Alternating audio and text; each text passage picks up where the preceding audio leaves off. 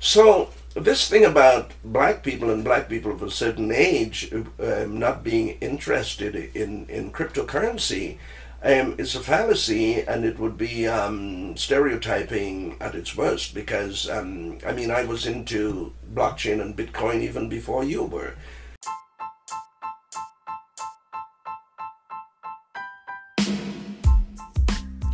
Hi, everyone. Welcome to the Foster Inclusion Podcast, and thank you so much for joining me.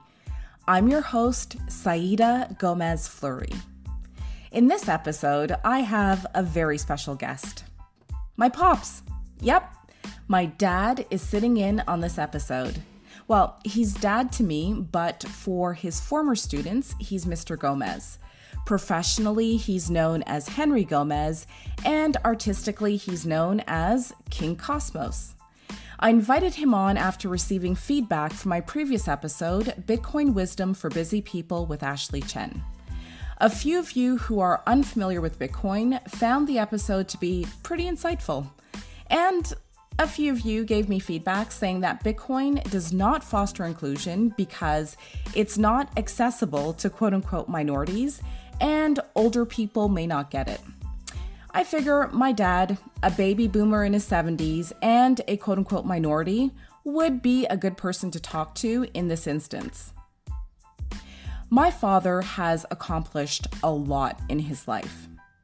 Born and raised in Trinidad and Tobago, he took a chance on himself by leaving Trinidad at the age of 23 and moving to Toronto, Canada to start a new life from scratch. He led a highly successful career as a teacher, recorded and released multiple albums. He is a calypso monarch, a trained actor, and most recently, he completed his second master's degree in interdisciplinary studies from York University. In this episode, Dad talks about lifelong learning, how he manages negative stereotypes, multiculturalism in Trinidad and Tobago versus Canada, and so much more. He also politely reminds me that he was into Bitcoin way before I was. Just one thing before we get to the episode, I'd like to warn you that in sharing some of his experiences, Dad uses racial epithets.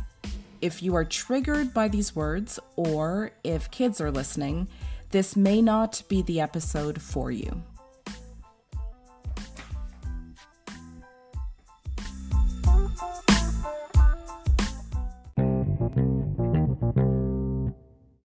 So, Dad, thank you so much for agreeing to be on my podcast. So, I'm delighted to be here to uh, to be doing this podcast with you. Thank you. How are you today? I'm fine, thanks. I'm very excited, as uh, my voice would let you know. Very, very excited to be doing this. You know, I thought of you because um, I keep hearing that age and whether a person is quote unquote a minority are barriers to adapting to new technology. And so, like, specifically after my last podcast episode, Bitcoin Wisdom for Busy People with Ashley Chen, um, I received a few comments because I had said that Bitcoin helps to foster inclusion. And um, those comments were sort of along the lines of minorities or older people won't be able to adapt. And I kind of sensed that there was sort of maybe veiled stereotypes in those comments. So I thought of you. And I thought it would be a great experience for my listeners to have you come on and share a bit of your experiences with everyone and basically just to um, maybe help to dispel certain myths. So, can you tell everyone who you are, how you came to be Henry Gomez, aka King Cosmos? Well, where should I begin? It, it, could be a very, very long story, a very entertaining story full of twists and turns. So let's say I begin at the present. Henry Gomez, aka King Cosmos, retired educator, among other things, I would say histor- historian, uh, geopolitical buff.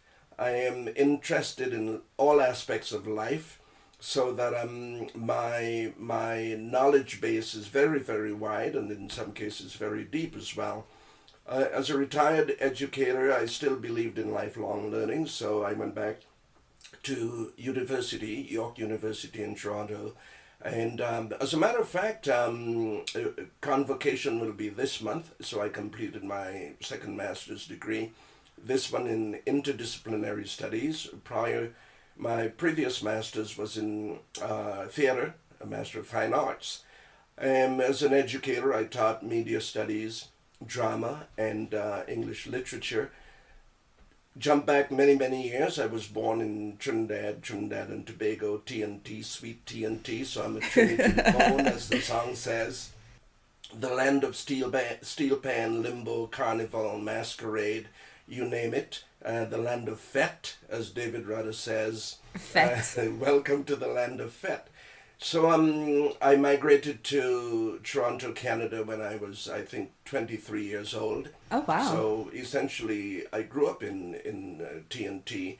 But I like to tell people that, um, so when I think about my age, I think I was, I had a rebirth when I migrated to Toronto, Canada because Yeah. Culture shock, I mean, took its toll on me. So for quite a while, it was a matter of uh, finding myself, Yeah. uh, de- dealing with um, identity. I, I, I think I experienced identity crises, but I dealt with them in you know in my own way, because you know that I'm fiercely independent. I believe in solving my own problems. Um, I think one of my strengths and weaknesses is that very often I don't call for help when I should call for help. Yeah. I um I muddle through. I figure things out. Um, I seek help, but sometimes not obviously. So I observe other people. I observe other other situations. I pick up bits and pieces of information from those situations. I am, you know, that I. I, I am uh, what, is- what, what is it? I shouldn't say a believer in. I love mythology. Yeah. And you know, you know that uh, through through many conversations, you know that mythology has um, has been a, a, a guiding force in my life uh, because um, I look at mythology as a means of um, of figuring life out. Yeah. You know, by, by looking at the stories they tell, looking at the characters, the role they play, the roles they play. So uh, you have that. Uh, I'm also an actor. I've been a, a profession, professional actor for many years. Theater, stage, television, film, you name it. Uh, I've done that for many years. I still am. I'm a composer and recorded recording artist.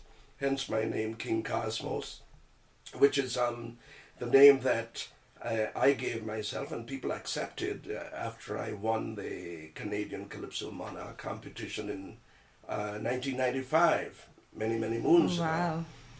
So I, I've led a, I would say, a complex life, um, taking many detours. The mainstay, I think, of my life in Canada has been as an educator, because that's uh, uh, uh, that allowed me to learn so much. Because um, I always believed that even though I was uh, quote unquote an educator, I was a student at all times because I learned a lot from my students. Yeah. So I was I really teaching or was I really learning? I, I don't know. I'm I'm still learning because Yeah. um, I believe that um I, I do believe in the saying that um one's life is always you know in in in process.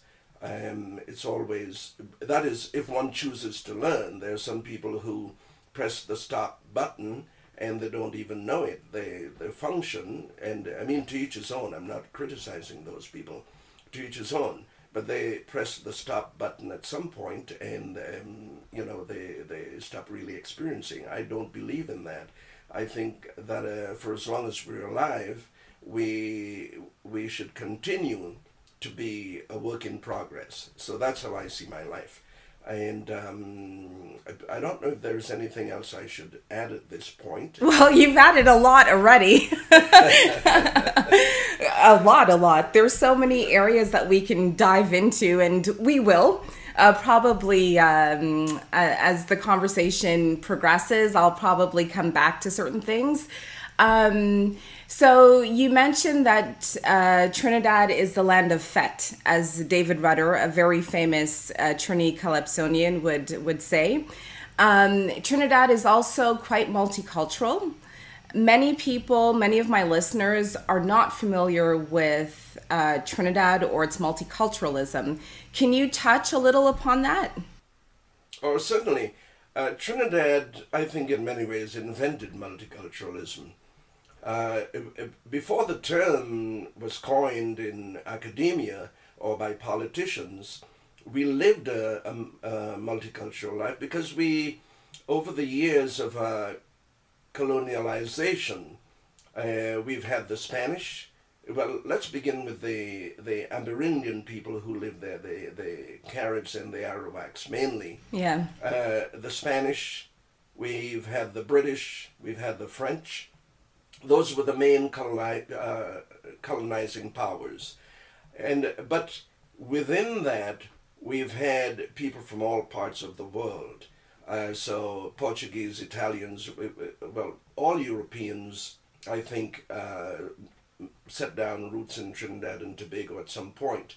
But we've had people from the Middle East, uh, Syrians, Jews, Palestinians, um, we, people from the African continent. Well, you know, with the advent of slavery, yeah. I think the, the first set of uh, enslaved Africans arrived in Trinidad around 1605 or somewhere around there. Then we had East Indians um, who were brought in by the British as in uh, what what indentured laborers. Uh, we've had the Irish. We so we've been mixing and matching. We've had the flotsam and the jetsam showing up in the shores of Trinidad and Tobago for many, for hundreds of years. So we lived a multicultural life. Uh, the two main ethnic groups in Trinidad and Tobago are the Africans and the East Indians. But uh, within, among those, or together with those, we, we, we have many, many, many ethnic groups. And I think this is the reason that um, when one looks at the, the, the people of Trinidad and Tobago, one sees this wide variety uh, reflected in their, their ethnic uh, makeup. Yeah. So, you know, for instance, in our family, uh, your mom has told you on many occasions that um, uh, for instance, you, you're a combination of um, African, Indian, Scottish, you know, you name it. Um, that's not unusual for the people of Trinidad and Tobago. I got to tell you this joke. It might sound a bit uh, crude, so I'll say it in as polite um, a manner as possible. But um, so I got to go beyond the, the father and daughter thing. We are two people having a podcast. Okay. So now I heard this from uh, Jean Paul, who is one of the, uh, uh, he's a Canadian stand up comic. And he said, Well, you know, I am from Trinidad and Tobago, I'm a Trini, you know, and um, it's one thing about Trinidad and Tobago. You go to Trinidad and Tobago, it, it, you know, people look at me they think, well, I could be Indian, I could be, you know, um, uh, Arab, I could be, I could be anything, you know, what, what's my ethnic background? And he says one of the reasons for that is that in Trinidad and Tobago what he says what what does that tell you about the people of Trinidad and Tobago? What does that tell you about Trinidad and Tobago? And there was a pause. Well, of course, people couldn't answer. And he said, Look, it tells you that we F anybody. Oh you know? dear. the, this and, this podcast is actually rated for even kids. So oh, okay, all right. So edit, it's edit it's clean. Yeah. it was his way. In other words, we like to mix with everyone. It's the right, okay, yeah, it's the right. mixture, and it's funny right. because um, um, especially here living in Switzerland or when I lived in France people often look at my name or they see me and they say where are you from like what what is all of this And my only explanation is well, up until till a certain point, my explanation was Trinidad and Tobago. But then I had the opportunity to travel to uh, Mauritius, l'île Maurice, and Yes. the uh, the mixture of people is very similar to the mixture that we see in Trinidad, and they actually have tamarind balls as well. So I was like, oh great, like Wow. I found a home on the other side of the planet. Very nice. Well, a great icebreaker to deal with that when people ask you where you're from, I'm suggesting you may not feel comfortable using it. For I still do it. People, are, like, where are you from? And then I, from my mother's womb, and then Yeah. I begin laughing, and they laugh too, and then the conversation begins. Yeah. There's so many ways to approach it. And for me, everything is about context, it's about uh, tone, Right. it's about, you know, there's so many ways. But I'd like to know from your perspective how multiculturalism in Trinidad and Tobago compares to multiculturalism in, I would say Canada, but more specifically Toronto or Toronto for people not from the region. Toronto, Toronto. Toronto, Toronto. Yes. Um, number one, Trinidad and Tobago is much smaller in population, in Yeah. size, geographical size. Uh, the ethnic diversity uh, might not be as great as um, Toronto's right now. But um, because we are smaller and we are piled up one on the other, I think um, it, it is much easier for people to, to interact on a fairly intimate basis. Toronto is so formal. You know, everything has to be institutionalized Yeah. before it could be lived. And I, I think see. in Trinidad and Tobago, everything is lived, sometimes not even institutionalized.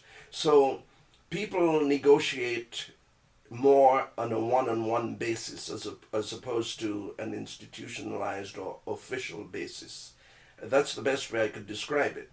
Uh, you know, we have to have laws passed before certain things could be done, could be enacted. And um, uh, uh, so that makes it, in my opinion, stiff and cumbersome. Yeah, You know, in Toronto It- it- or in Canada. that's right. It, it takes away uh, the the agency from people to negotiate one on one as they go through life. Uh, that, that to me is the major difference between multiculturalism in Trinidad and Tobago and multiculturalism in Toronto, Canada. So then it's not necessarily the difference is not necessarily in the mix of people or the the the makeup of the population. It's more in the way people go about things. Lived Yes. Yeah, okay, I see. I yeah, that's that's how I would put it because um, here you know even though we talk about multiculturalism, um, to me the only thing really multicultural about uh, Toronto is Caribana, because people get involved and they really negotiate pretty much one on one. They they really mix it up. Yeah. Uh, if, if if one looks at the city of Toronto, which which is something I do on a regular basis, I get on the subway, and it's one of the reasons I like using public transit, because as I get to certain areas of the city, I can tell where I am by the ethnic makeup of the people I see getting on and getting off um, public transit. Yeah. You, you, you, you, so yes, we have multiculturalism, but people are still, for the main part, isolated in their residential groupings. You know, if if it, okay, years ago on the Danforth, it, it was quote unquote the Greek community. Yeah. So when there's a taste of the Danforth, you travel along the Danforth between, let's say, um, a little east of Broadview, right down to Jones. You find that that's Greek town. Um, you go to the west end, let's say around um, from around Manning to about Shaw. That's the Italian, and then west of that it's the Portuguese. You have Chinatown. Uh, well, you have various Chinatowns in Toronto. Um, you go up to Steeles and Kennedy, you have the Pacific Mall. So you go to certain areas and you see that there are these pockets. that it that doesn't ex, it doesn't exist to that extent in Trinidad and Tobago. I see. It's fascinating because um, you know there's there's our um, in at business school we looked a lot um, along the leadership stream at our internal and external journeys um, yes. observation observe observing sorry the world around us and paying attention to our own choices and our own reflections and it's fascinating because listening to you describe um, the differences between Toronto and Trinidad, and then saying that Toronto has a lot of pockets, it makes me think of my childhood, you know, when you and mom were raising Tash and I when we were young, and your choice to not live in a pocket. Yes. Because we were the only yes. black family in our building, you know. Um, I think this, I can say the same for Tash. She's six years older than me, but I was only the I was always the only black little girl in all of my classes. And so what prompted you and mom to not live in a pocket and to live elsewhere? I am not sure. we did it um, now that you're talking about it we we never looked at it that way we ah. um, well let's say we went with the flow to some extent because we began, let's say, around 1971, 72, when I was still a, a drama student at uh, Ryerson Polytechnical. It was Ryerson Polytechnical Institute at the time. Later it became Ryerson University, and um, as a, as um, uh, to digress a bit, uh, recently we see what has happened with Egerton Ryerson's statue. It's been pulled down, but that's another discussion. Um, mm. So, yes, 1972, 73, when I was at Ryerson, I was a student. Um, your mom had newly come to Canada from, uh, from England, and um, we were living in the West End. Uh, we were around Oakwood and St. Clair, which was a, a very, it had a considerable Caribbean quote unquote black population. We were living there, and then um, because of uh, our pecuniary status at the time, we decided to um, appeal for, at the time it was called, I think, Ontario Housing or Metro Housing, I can't remember. Um, so we applied for that, um, it was housing geared to income. That's how it was termed at the time. Okay. And uh, we applied, we were, our application was accepted, and we were assigned or sent to this address in Scarborough. We didn't Scarborough. know where the hell we were going because um, I, up to that time I, I had never been to Scarborough. I knew downtown Toronto, and uh, Scarborough used to be referred to as Scarberia. Scarberia. I actually uh, remember that term. Uh, uh, yes, because it was it seemed so remote. The transit system was not as developed and um, as extensive as it is now. So um, we simply said, okay, that's where we're going. Uh, uh, we had Natasha at the time, and so that's how we ended up in Scarborough. And um, but our approach always was of our current situation is not our final destination. Yeah. So, yes, we were there, but we always knew that that wasn't the end. That that that's not where we were going to remain. We were going to use that as an opportunity to uh, get a get a get our footing, because we're still suffering culture shock. You know, get our footing, decide where we'll go, how we'll develop ourselves. And since it's been drummed into our heads from the even before we were born that education is the key. You know, our parents used to say, get an education, get an education, get an education, because it's the one thing no one can take away from you. Yeah. Once you've got an education, no one can take it away, and that's your passport to success. So that stayed with us all along, and so we, um, you know, we use that as a, as a grounding, and then even though, yes, we had children and so on, you and Natasha, we decided that we were going to go back to school. We would continue our education. Uh, your mom was a trained nurse in England. Uh, and so we made the sacrifice. So, so, it wasn't about living in a in an area with people who actually looked like you. It was really about making choices in order to advance. That's correct. Yeah. Yes. So th- that's why we ended up where we were and we uh, yes we were aware of it but um it never really got it wasn't important um, no so it, this it idea important. of diversity and inclusion today i'm not sure uh, what which level of exposure you've had um, with respect to diversity and inclusion in organizations or at work because it may not have been as popular while you were still teaching but from what you've seen or what you've heard, what is your how, how do you feel about it? Because you and mom made choices based on basically for strategic reasons. Did skin color or background or did any of those things factor into the way you made choices? I don't think so. And uh, I say that because I was never conscious of making choices because of uh, skin color or background. Yeah. Um, and I, th- I think I could say the same for your mom. We made choices based on, as you say, for strategic purposes. We wanted to accomplish certain things. So the desire to accomplish and to succeed determined the choices we made. Yeah. So, okay, for instance, I wanted to become a trained actor. I chose to um, chose not to pursue becoming an electronic technologist and going into a drama program instead. You know, so that was a strategic choice.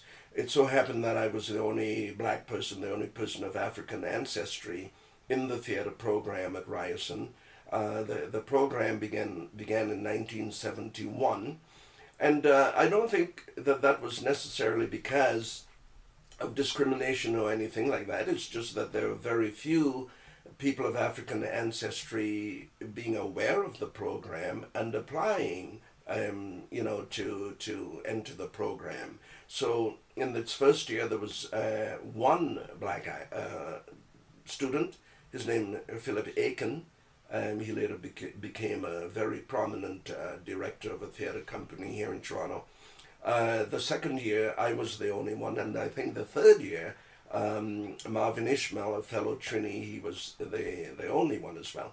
So uh, I was conscious of that. It, it was very uncomfortable at times, but um, you know, uh, in my in my own way, my modes of survival and my methods of survival, I used uh, humor. I used whatever it took to survive that. It was quite painful at times, but hey, you know, b- being born is painful. So yeah.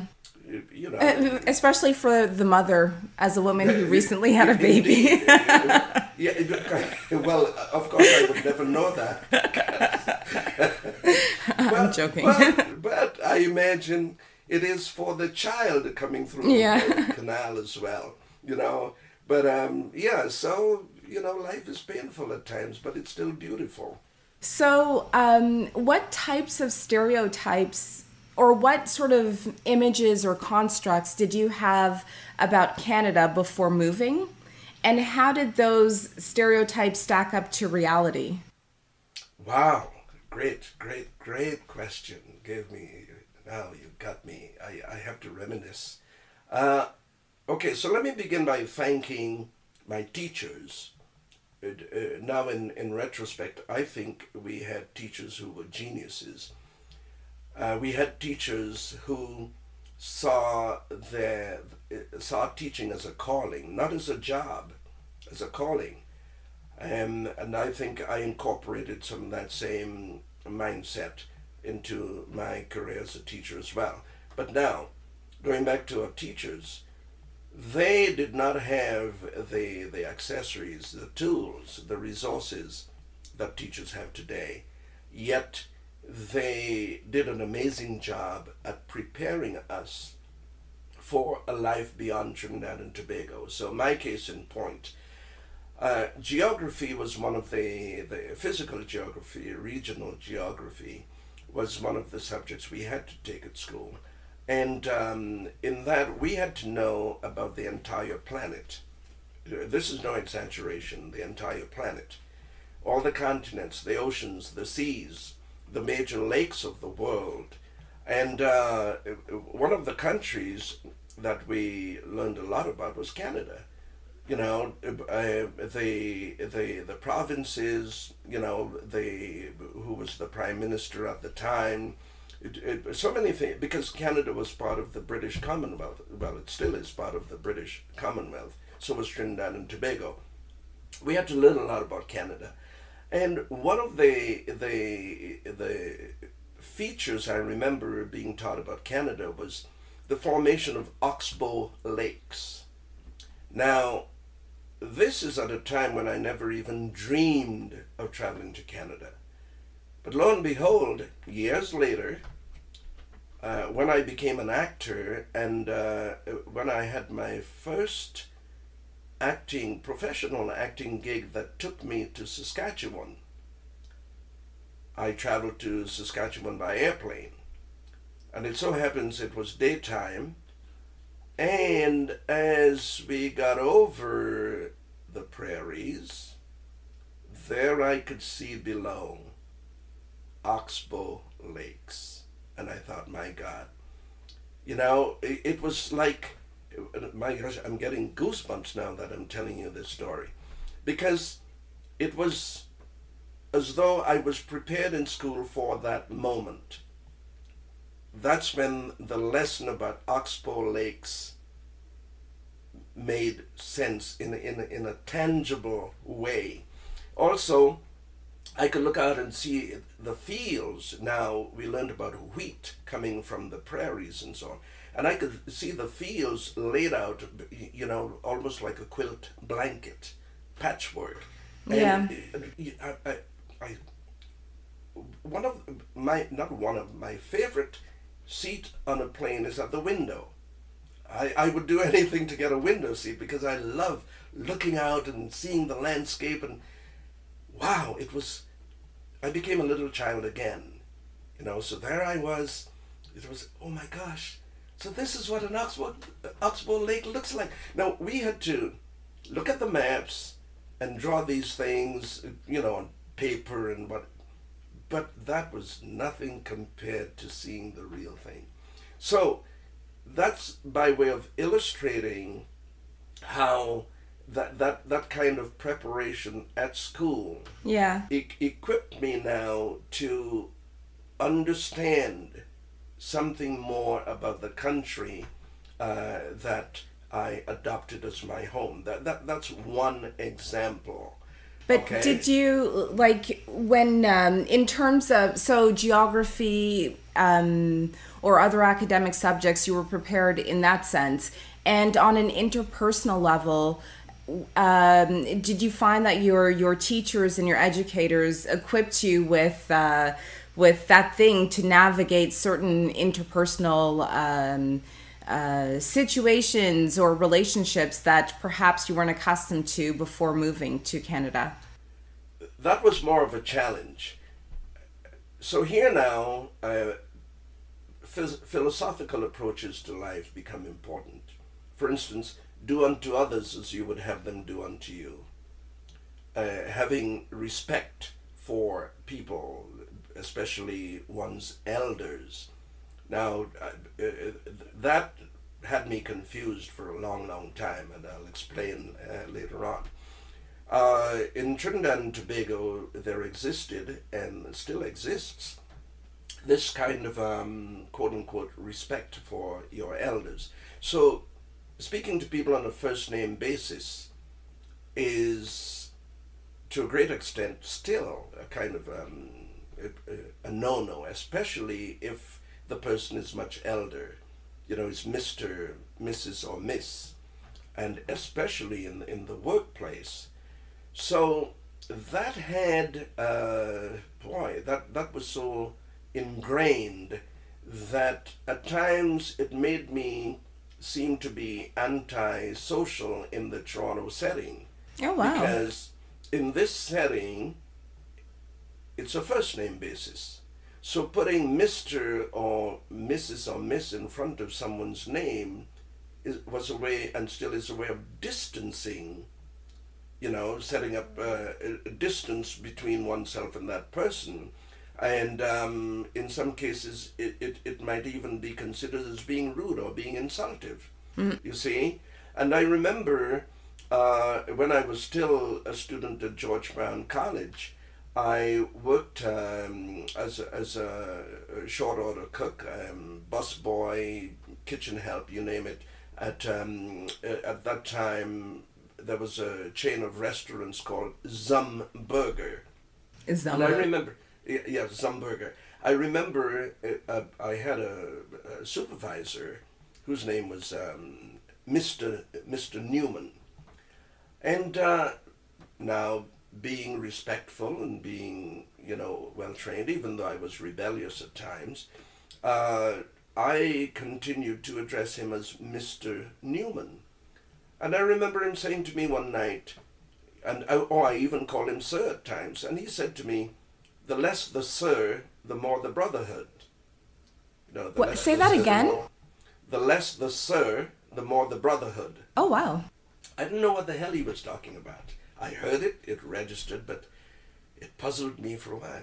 What, what, what does this mean? It's the first time I'd heard that expression. And uh, I, but I continued, yes, sir, and, you know, because again, I was being respectful. I thought I was being, and he now didn't look at it that way. You know, so in his way, he was saying to me, look, cut the crap about so and so and so. You know, my name is. And it took me a while to figure that out. The less the sir, the more the brotherhood. So, going back to your question about being prepared now to interact on a one on one basis with, with people, that was a difficulty because whenever I got into a situation in which, let's say, someone was quote unquote uh, in in in um, a senior capacity in the workplace, I addressed the person as Mister or Sir, and that happened even when I became a secondary school teacher. You know, other teachers were addressing the the principal by first name, and I kept saying Mister whomever the principal happened to be. It took me many years to become comfortable addressing someone in a position of authority by his or her first name. So here's you know, a question then. Um, yes. Because you mentioned um, when addressing your elders, for example, and you also mentioned someone in a position of authority in the workplace. So, what happens if uh, there is a person in a position of authority by title, by rank in your organization, but is perhaps 20 or 30 years younger than you? Would you still say Miss or Mrs., or how, how would that work? Well, now it's a first name basis because uh, I've become acclimatized to that. You see, but at that time, it would have been Mr., Mrs., Miss, whatever, um, you know, was the, the protocol at the time. That, that's, that's what it would have been. Because um, that's the that's the training I received. That was the um, foundation on, on which I built later on, but which I removed as time went by. But it still happens in Trinidad and Tobago today. Let me tell you this story.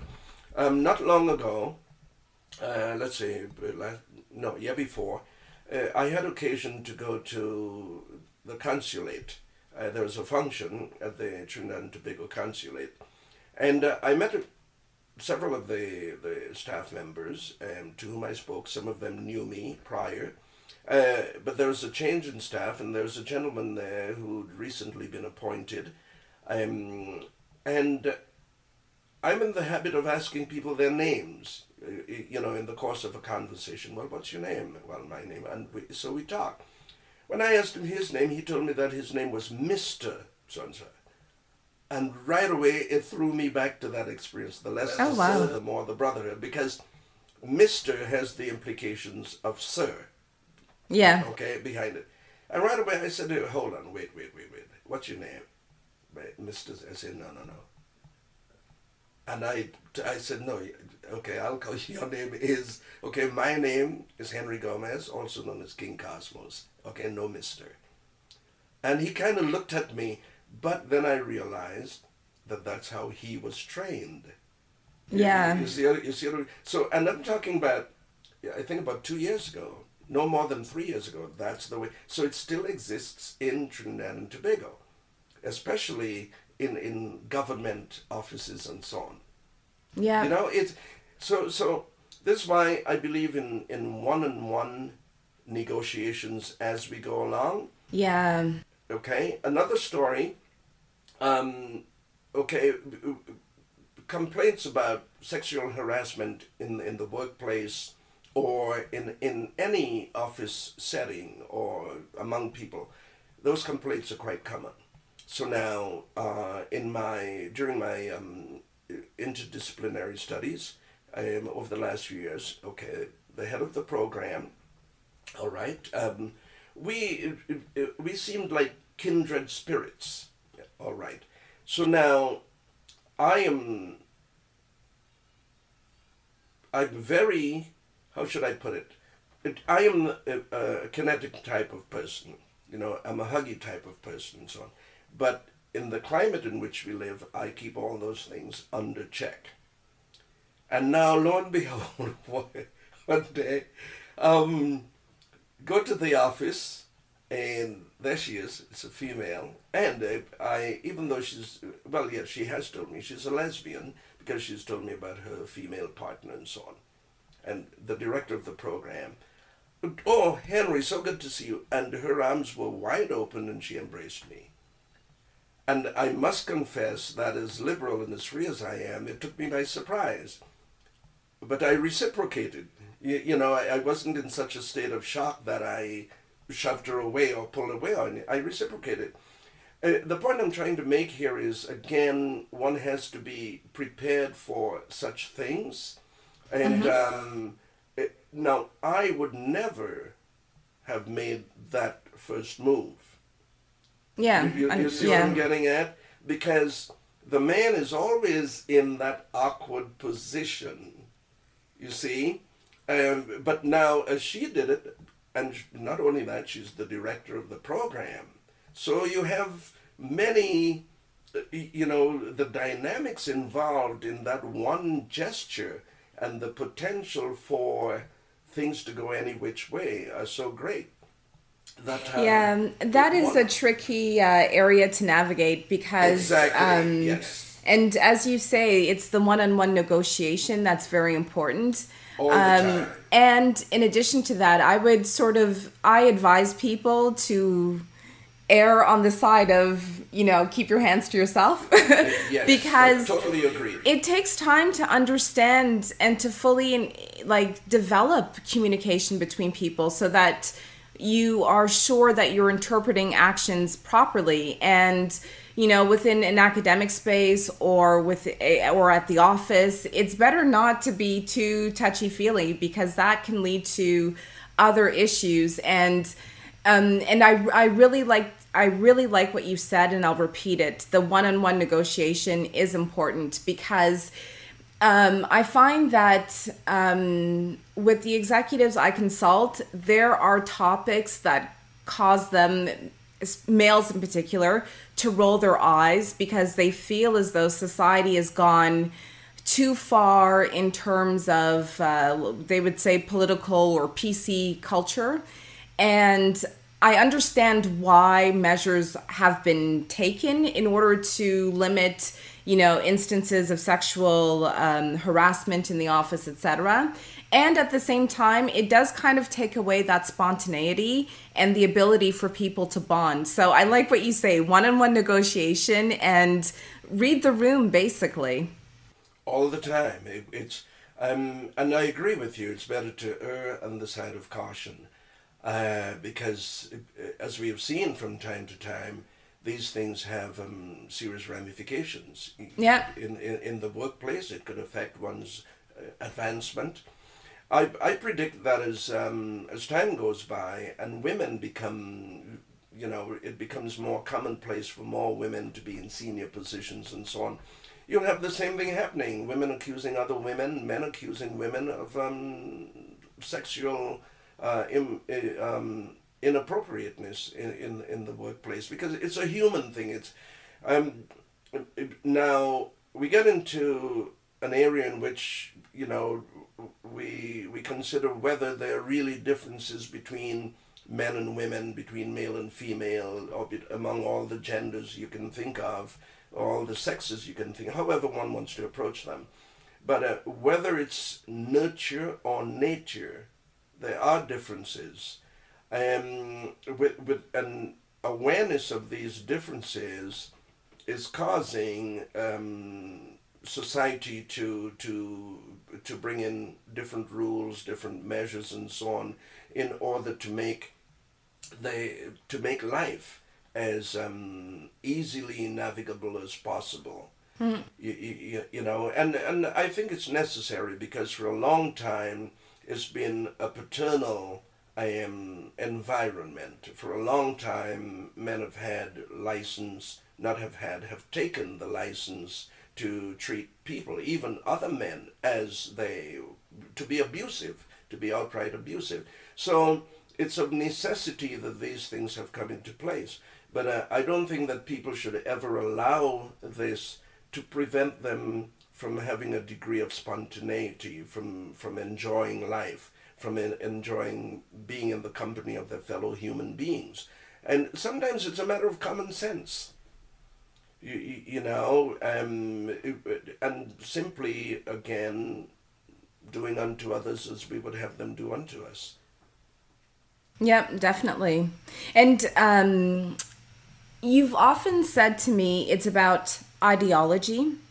Yes. Um, and I've I've I think of that statement frequently because right now with respect to diversity equity and inclusion there are shortcuts that are taken in that we look at people or we want to hire people because of their skin color or because of of their uh, gender expression or gender identity, etc. And um, and there there is a chance that at times we may forget that we do also have to consider the person's mindset in addition to uh, their physical characteristics.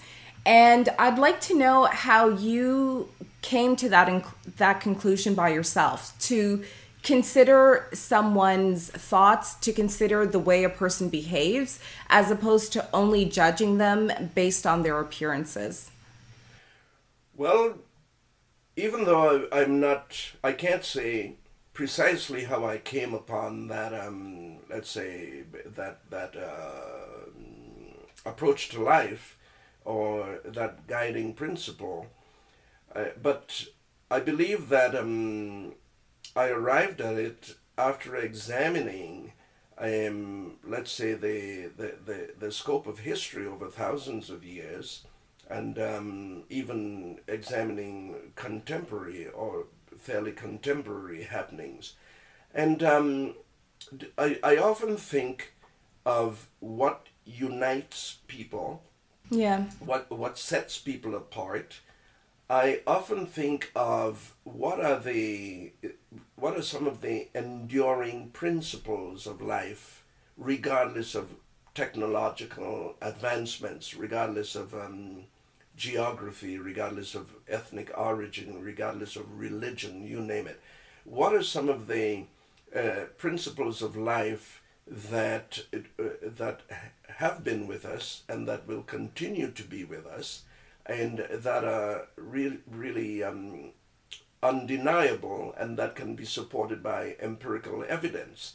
So it's by examining all of that I concluded that uh, it is ideology that causes people to to bond over um, any any uh, whether it's a project, whether it's um, uh, more important things, uh, to commit atrocities, or mm. to to to do good deeds. It's a matter yeah. of ideology, And um, combined with ideology, one would have, um, or one has self preservation.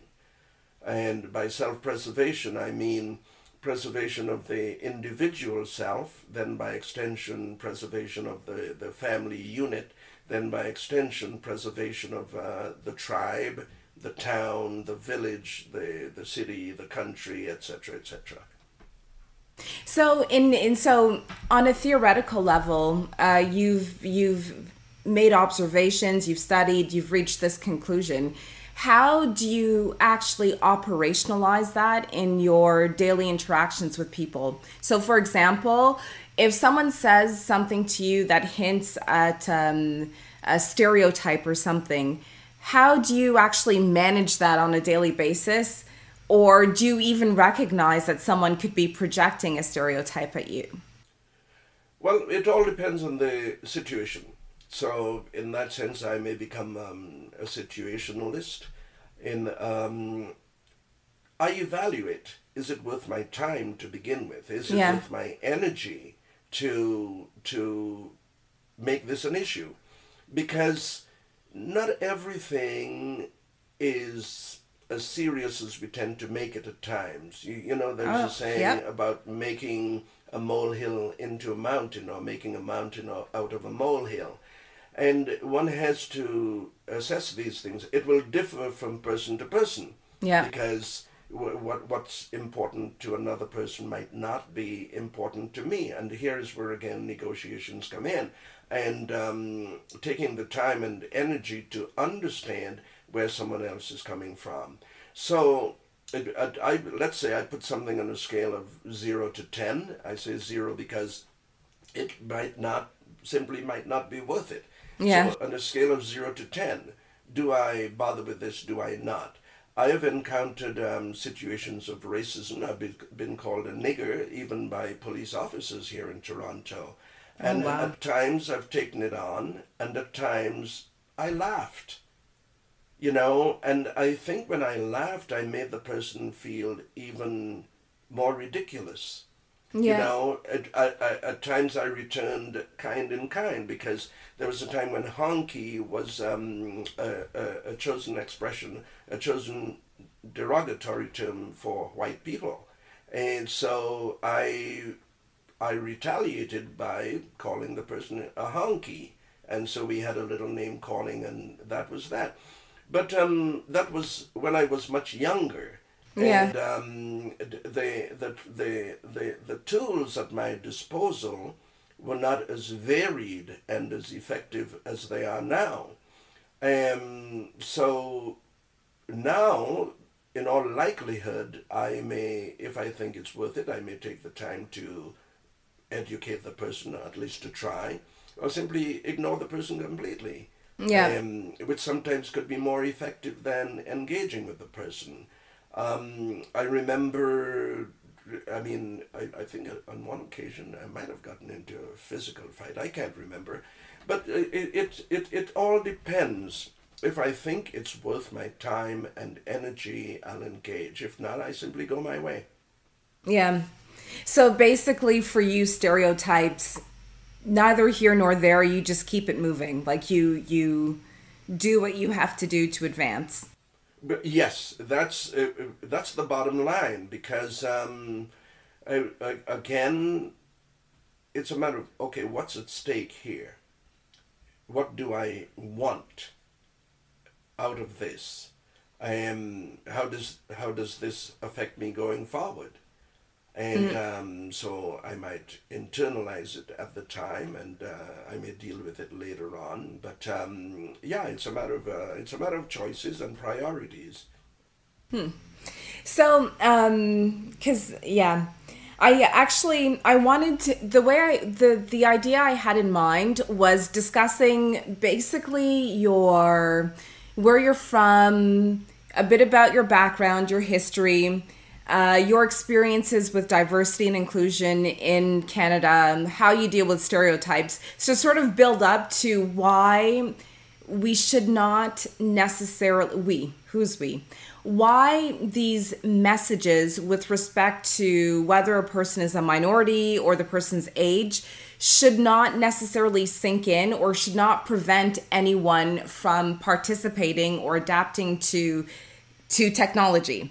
And the reason I thought of this conversation is that when I did the Bitcoin episode with Ashley of Bitcoin Wisdom for Busy People, I got feedback saying basically, you know, like I, I'm to summarize, you know, black people of a certain age probably will never get on the Bitcoin bandwagon. And I know that this is not the case for you, for example. So I wanted to just do a little illustration about your backstory to actually speak about your thoughts on money and Bitcoin, because I think that this is quite fascinating. And I think that um, it would be helpful for certain people to hear your perspective on these things.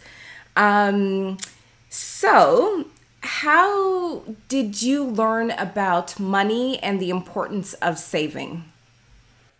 How did I learn? Wow. Um, I may I might have to go back to my childhood, and uh, I'll I'll tell the story as briefly as I can, uh, but still make it interesting. So now, as a child, um, we we were poor, but not poor. I mean, we had a lot of land. Um, we were agricultural people, believed in education. My childhood was um, tough in some cases. I had to work very hard, wake up early in the morning, sometimes earlier than most children, um, do chores, all that sort of thing. Uh, now, we engaged also in something called, at the time, animal husbandry. Uh, that included um, uh, keeping livestock, pigs, goats, chickens, turkeys, ducks, you name it. And, um, you know, there's something about hens, they lay eggs. And um, eggs are a form of food. And in our town, Princestown, where I grew up, uh, we had, um, let's say, uh, uh, entrepreneurs. We didn't call them that then uh, we had entrepreneurs who had little, um, here we would call them convenience stores, but we call them parlors for whatever reason. So now these entrepreneurs sold, you know, various things. Among those things were eggs. And I discovered somewhere along the line that um, sometimes when the hens laid the eggs, my uncle with whom I grew at the time and a, a, foster grandfather didn't know. So I stole some of those eggs, went and sold them to some You did not steal. Uh, yes, I did. Sold them to some of the entrepreneurs who didn't mind buying them and selling them at a profit. So that's, I think that was my first. And then uh, later on, as, as I grew older, um, it, when we went when we harvested produce, I was given a portion to take to the marketplace to sell, and out of that I would get some money as well, and that continued. Okay, later on I became uh, what was called um, a pupil teacher, so I didn't have to do that anymore.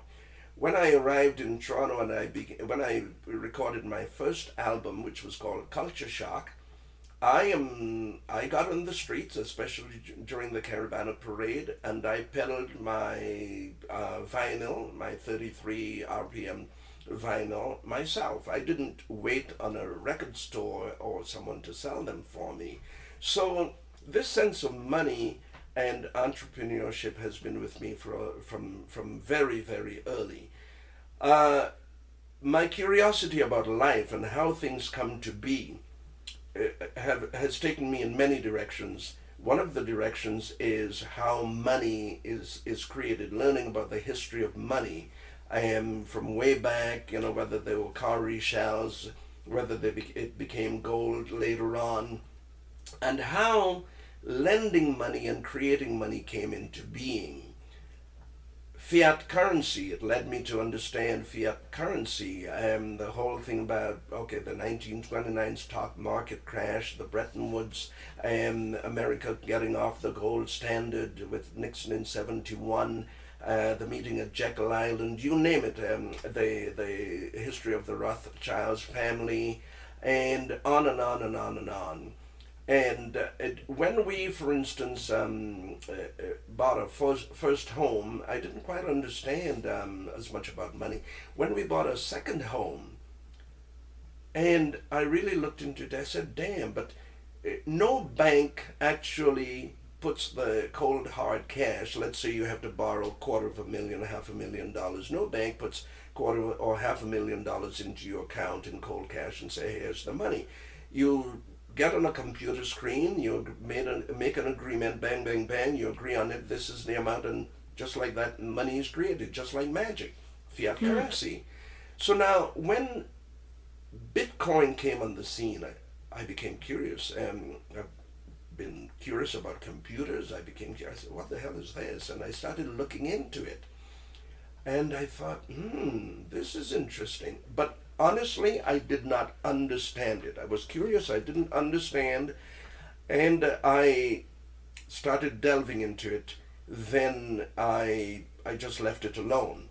Yeah. And then then I went back later on. I looked at it again. I thought, well, let me put a few dollars in this and see what. Honestly, I should have been a blockchain, a Bitcoin, a millionaire several times over by now because at that time a, um, a Satoshi was worth, or a coin was worth, oh my God, a few cents. Yeah. So anyway, I left it. I even forgot my password, my Bitcoin password, and I thought, oh my gosh. And then when it took off again, when was it, 2017 or something like that? That's why when I went back into it. So this thing about black people and black people of a certain age um, not being interested in, in cryptocurrency um, is a fallacy and it would be um, stereotyping at its worst because, um, I mean, I was into blockchain and Bitcoin even before you were. You know, you know so, and when I, I when I say you, I not necessarily you individually, but you as representative of a demographic group. You know, um, so before many young people even knew about Bitcoin, even heard about Bitcoin or blockchain, I was into it. You know, so that belies this um, thinking that black people of a certain age would not be into cryptocurrency or would not appreciate Bitcoin. And really and truly, I am I I can see why institutions, uh, financial institutions, and um, the heads of these institutions would uh, decry Bitcoin and try to convince people not to get involved because it's a direct threat to their existence. Yeah. Yep, yep, definitely. Definitely, definitely. So I guess all in all, in summary, don't let stereotypes prevent you from doing anything in life, and you are or you are living proof of this. That's been one of my guiding principles. As a matter of fact, a major guiding principle. Um, it, as human beings, I think if, if we if we are functioning as effectively as we should be, we we are responding to external and internal internal stimuli. Yeah. Um, at least uh, that's what I'm conscious of. And at different times in our lives, the external might be greater than the internal. But I think at all times, if we if we are to accomplish, we should be driven by the internal. For different people, that would take them in different directions. It would have different limitations. But um, I, I believe that it's important. Uh, most of the people, well, I would say all the, the, the people who have accomplished anything of significance were driven by internal stimuli. Oh, definitely. You know, and, and this again brings us back to mythology. In, in any instance, whether it's a, a, a hero or heroine, um, the call comes and that call is very often an internal something. So maybe rather than say an internal stimuli, maybe a better term might be uh, an internal um, arousing, you know, an internal awareness that now prods this person to respond sometimes unknowingly um, to, to finding the solution to a problem or taking up a challenge, which, which at the time might not even be discernible to most people. But, but the person receives the call in whatever way that happens. I cannot um, define that uh, because uh, whether one chooses to say it's a call from God, uh, from the Great Spirit, from you know the universe, however one chooses to put it, but the person uh, has an impulse, and the person now either accepts or rejects because not everyone responds to the call.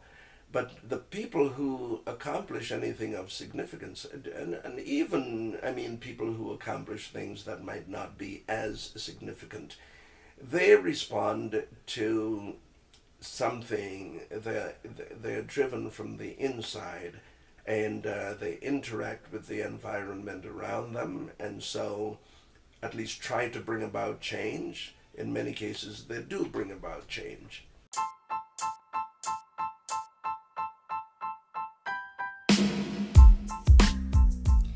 I am so grateful to my father for joining me in this episode. You know, when I was a kid, I had a tough time wrapping my head around my father's philosophical approach to life. I mean, I just couldn't figure out how to apply Greek mythology to the challenges I faced as an eight year old. I'm smiling now, but at the time, trust me, it was frustrating. but Today, as an adult, I'm grateful. I'm lucky because my father has shown me that when we're on the receiving end of negative stereotypes, although very painful at times to manage, we're susceptible to hurting ourselves even more if we internalize those negative stereotypes. And we all have a tendency to project stereotypes or make assumptions, positive or negative, about others. If you'd like to practice challenging your assumptions, here's a little exercise that I do. And of course, I do this in real life and not on social media.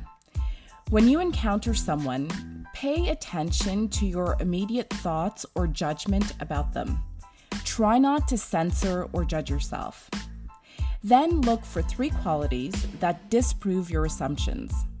With practice, this will feel more natural and it'll actually help you with countering unconscious bias.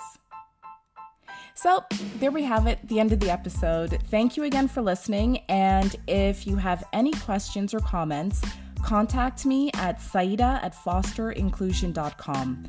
That's S A I D A H at F O S T E R I N C L U S I O N dot com. And visit the website www.fosterinclusion.com. Bye!